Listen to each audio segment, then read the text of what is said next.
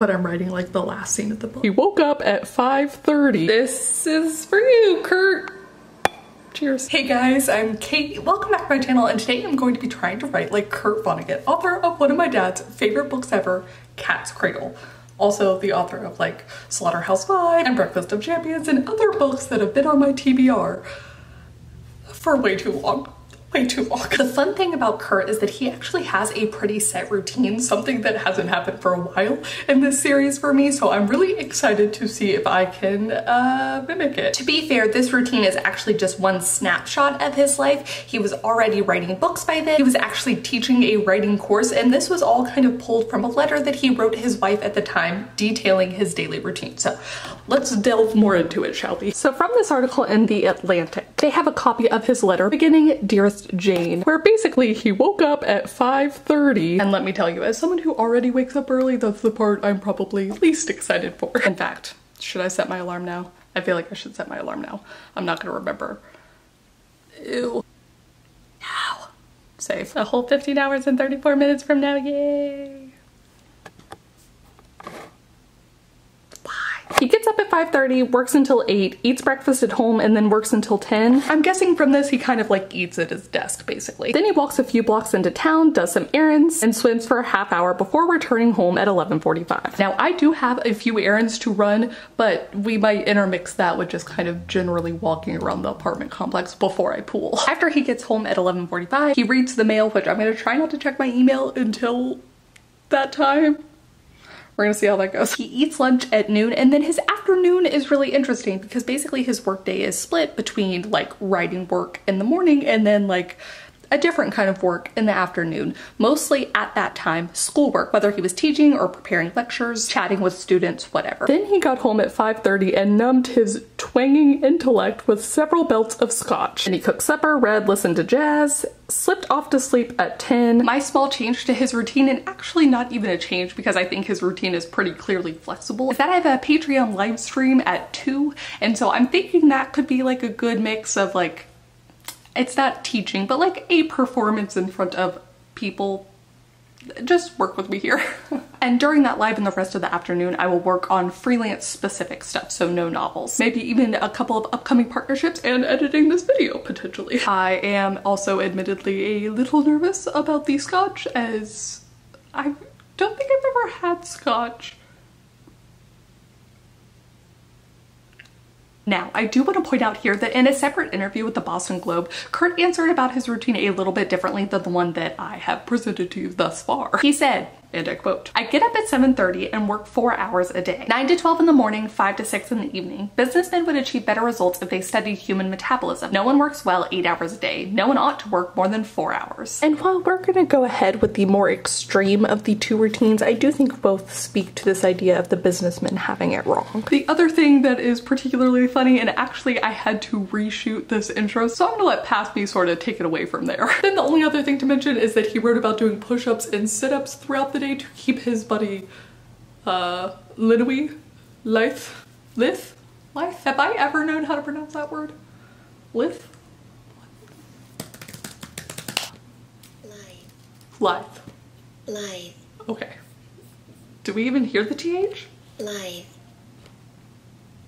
Lithe yeah, life. but besides the extra sit-ups and push-ups, and besides arguably the 5.30 a.m. wake up, though potentially this might be a good reset for me anyways, I am pumped to try his routine. But before I get started, I do want to talk about just how freaking quotable Kurt Vonnegut is. There are a lot of little nuggets of wisdom or just like funny sayings that I saw as I was researching him and his routine, and I am just excited to sort of sprinkle those into this video. One example is how he thought that writers should have hobbies other than writing or researching of writing in literature because, to quote, literature should not disappear up its own asshole so you know. Or another example, when he was teaching creative writing, he started all of his courses by saying, the role model for this course is Vincent van Gogh, who sold two paintings to his brothers. Yes, there is a lot of excellent advice intermixed within all of this, but ultimately it feels like a big takeaway from him is to not take it so seriously or at least not to let it paralyze you. So that is the spirit with which I will move through tomorrow. Without further ado, I will see y'all bright and early at 5.30. Not even bright yet. Dark and early Dark and early at 5.30. Okay.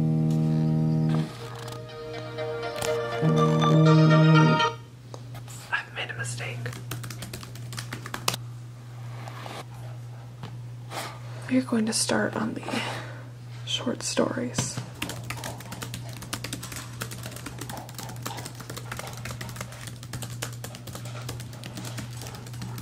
I don't know if you guys can see this, but I have a little puppy blocking. Okay. All right, it's not quite six yet, and I already have 149 words.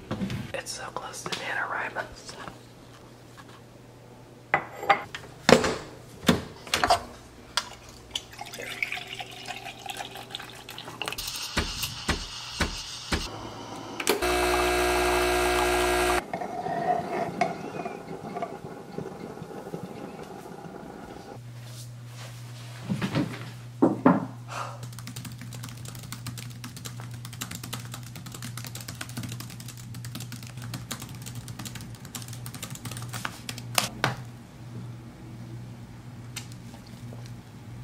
At 705 words, I have finished that short story. 705 words today. Short stories at like 4,220.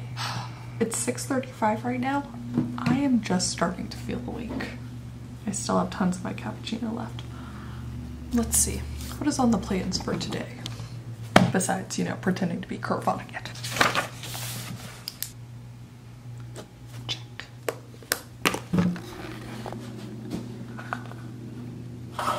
Well, it's not completely dark anymore.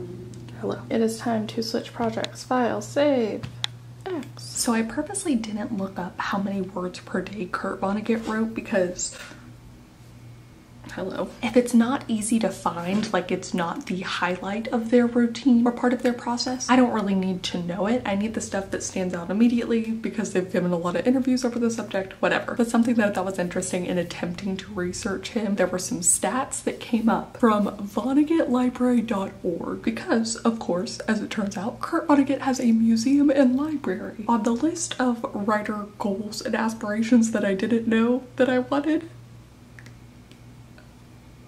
having a library museum after me. Being in a library or museum, oh my god. I mean being in a library period, but like a museum library. I have a new bucket list item. but the Kurt Vonnegut Library and Museum has a lot of really cool sources. And something I'd never heard of before is actually the phrase anaphora. I don't know how I missed that in my like English education. Blatt defined anaphora as a sentence starting with the same word or the same two words as the sentence preceding it. In Blatt's list of books from his sample with the highest one word anaphora, three were written by Vonnegut. So then this is an example from Cat's Cradle. So it goes. Iconic. Anyways, I guess the point is I learned something new and I wanted to share it. One of the other things I found in my research is that Kurt Vonnegut, like a lot of writers of the time, got his start in short stories because there was more money to be had there and there were more like literary magazines and magazines publishing short stories for their readership than there are now. So it's interesting just seeing in the past few decades, few, four, five, how much the publishing industry has changed. And to reiterate how much he sort of did not like his job and was against the nine to five, he wrote his father a letter that says, Dear Pop, I sold my first story to Collier's, received my paycheck, 750 minus a 10% agent's commission yesterday noon.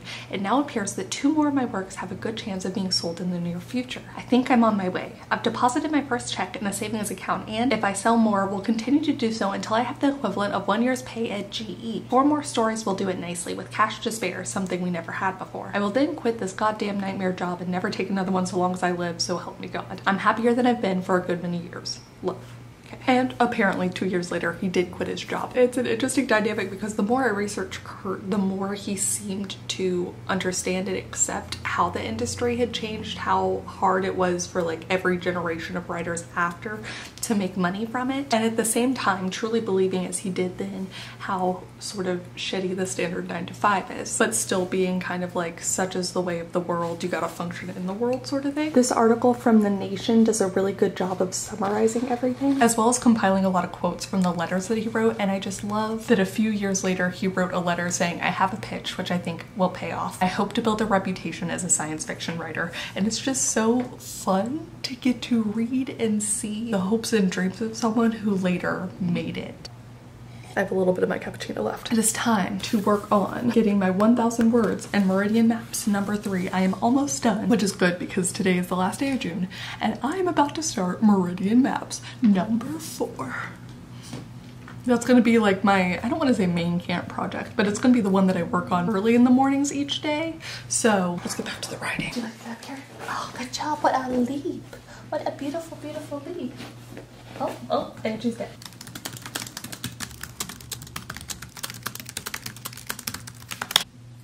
Oh, I'm not supposed to be doing this. Oh, but there's $49 fares that no one can take to anywhere. I'm going to go right outside with the puppies for the 10 minutes I have before it's time for breakfast. Hello. Go, puppy, go. Go, puppy, go. I don't know that this really looks like a cool day, but... Buffy!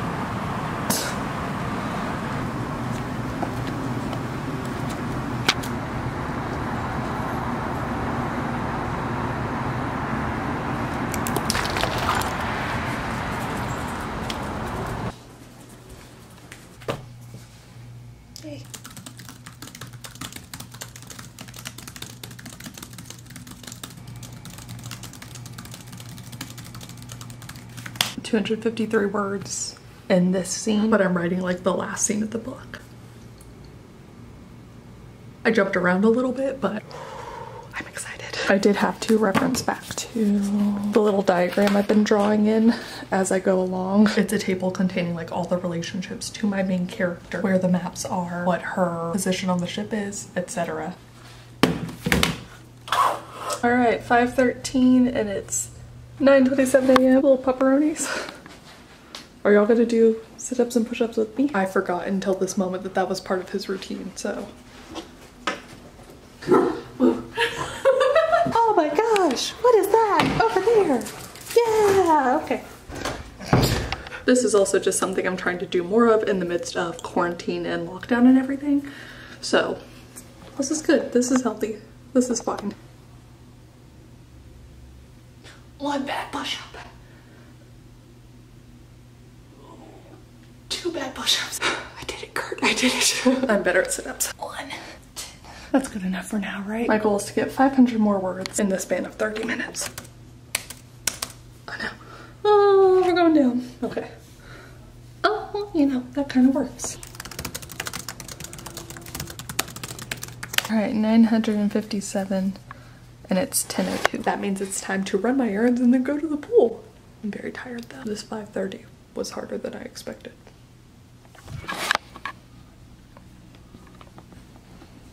For my errands, I needed to one, go get gas because I was desperately low and the signal was already on. I also needed to pick up some groceries so that the boyfriend could make all the delicious food for later. And then, because I was in the area, I decided that it was the perfect time for bubble tea because let's be honest, it's always the perfect time for bubble tea. And right on time, I was back home and ready to head out to the pool for my 30 minutes of exercise. I brought Miss Mistborn but didn't actually end up reading it because I was the only one there and had the pool all to myself to swim laps.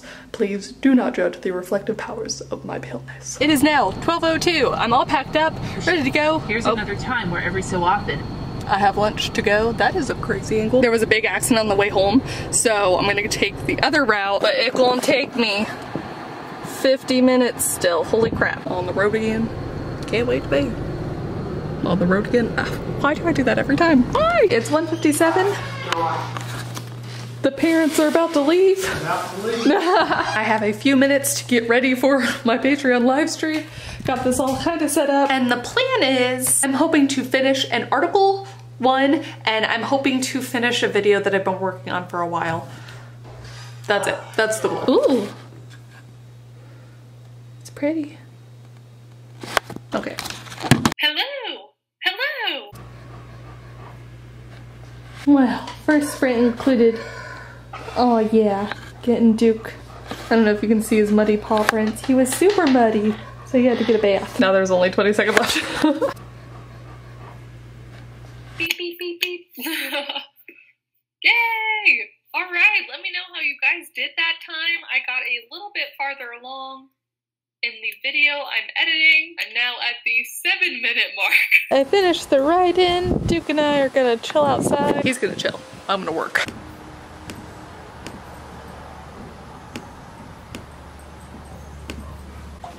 Situation easily. Not without some deaths, not without some consequences, and then bam. Oh, only like 30 minutes left and I realized I have not done nearly enough push-ups and sit-ups today. What was the point of Googling how to correctly pronounce life if I only do them once? I bet Duke will be a better participant and slightly less uh, boisterous than the young pups. What do you think, Duke? Can gonna do a push up? Oh, oh are you gonna do on me? Okay. I was wrong. One. Two. You think Kurt would allow me just to play with the puppies my uh, exercise throughout the day? Oh, bye dog. So off of the recommendation of my patrons, I am now watching Derry Girls. I'm on episode three and I'm helping my mom with her Snow White Kinkade puzzle. I've just been kind of vegging out. I don't know that his routine tired me so much as getting up at 5.30 tired so I guess it was his routine. But like the actual work amount felt pretty good, pretty chill. It was nice to rededicate my entire morning to writing. And oh, the pool break amazing. I, I love the water first off. There was just something so relaxing and kind of floating in the water midday to the point that I'm thinking maybe my old routine could actually work here where I do take that midday break, but this time instead of running outside or going on walks or whatever, I just go to the pool. My hair can feel the chlorine because I didn't rinse it out, but maybe it'll just be a little bit blonder at the end of summer or something, you know? All right, time for the scotch which I'm nervous about. My mom brought home this one from my grandma's. To be fair, I don't really know the difference between scotch and normal normal whiskey. And there's like Tennessee whiskey, there's like rye whiskey. For someone who likes drinking, and I do, I don't really know that much about it. I know what kind of wine I like, and I'm learning what kind of beer I like. But after that, it's kind of, that's it. You sip scotch, right? Like, is that the thing? Is scotch a sipping alcohol?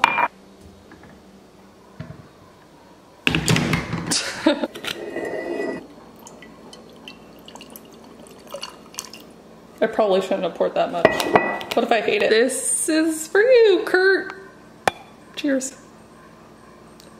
Oh, I just smelled it. Oh no, oh no. I'm gonna have to work up the courage again. I'll put the Derry Girls on. That'll help, right? Oh God. Oh, it, okay. Holy crap. Have you nothing to this? It's like something straight. Look, Fuck. I know the fella's gay. I'm okay. But gay or not, Oh. you said I was gay. You're still a fella. Oh. Oh. What the? Ew. God, it came in waves. It was bad, then it wasn't bad, and then it was bad again? I don't know what to think. Oh no, should I put ice in it? Is that a thing that people do with scotch? Yes. A scotch slush.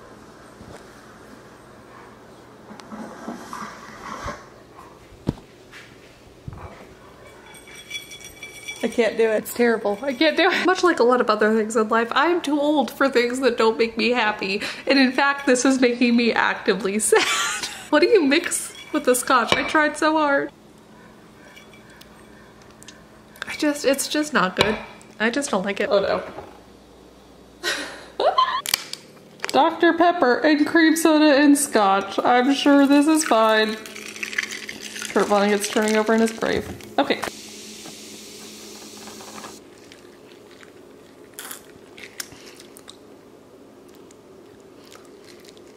It's it's better. At least now I will be able to finish it. And that's truly what's important here. They're judging me too.